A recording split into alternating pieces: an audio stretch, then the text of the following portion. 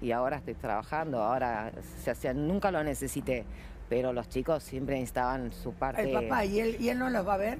No, tiene una orden de restricción de por vida. Ah, no puede Está verlos. declarado como psicópata, como Pero, persona perdón, ¿Les hizo algo a tus hijos? Los amenazó de muerte, los golpeaba. Eh, todo lo que yo recibí, hasta que yo dije basta, ahora lo reciben, lo recibían ellos. Y por eso no los ve más. Por eso no- después de que le, lo amenazó de muerte cuando Francesca tenía 11 años, la amenazó de muerte pre- ¿Cómo diciendo, la amenazó de muerte? llamando por teléfono a la una y media de la mañana, de haber estado borracho, no lo sé, diciendo de que iba a prender fuego la casa donde vivíamos. Ay, qué horrible. Los chicos eh, se, se crían con miedo.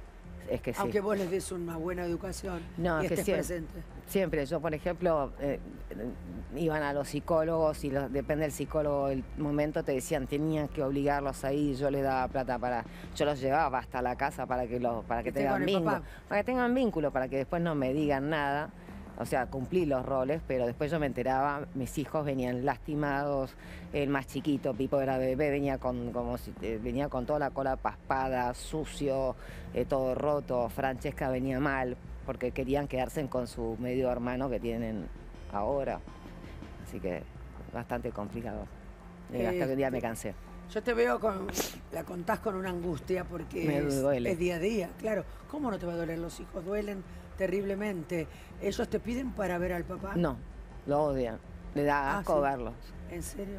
Francesca especialmente una eh, lo, lo vio, se lo cruzó y se quedó paralizada. Se le tiene pánico. Ah, sí, le tienen...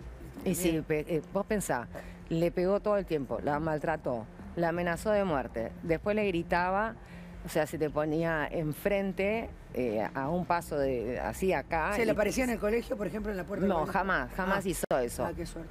Jamás hizo eso. Pero sí, este, cuando iban a la Digo, casa qué suerte porque frente a las compañeritas y todo. tenía Mm. orden de restricciones. Ah. Y ja- pero jamás hacía eso. O sea, yo por más de que viva a 15 cuadras, nunca le interesó a sus hijos. Ah, Nunca. Siempre No. le interesó la plata.